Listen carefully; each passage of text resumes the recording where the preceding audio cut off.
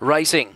Leaping out, Catch Jackson, joined and headed by Outbreak, Heaps of Kuna, Rip and Roxette, jump in line, sweeping into it quickly. Chimichurri next, then Heaps of Kuna with work to do, chasing Matty last, jump in line, surges to the top. Over Outbreak, Rip and Roxette, Heaps of Kuna runs on, but jump in line goes for home, and jump in line's going to win. Second Outbreak. Third, I think, Rip and Roxette. Fourth, close, Chimichurri or Catch Jackson. And then chasing Matty, Mighty Handy. And unfortunately, Heaps of Kuna has broken down.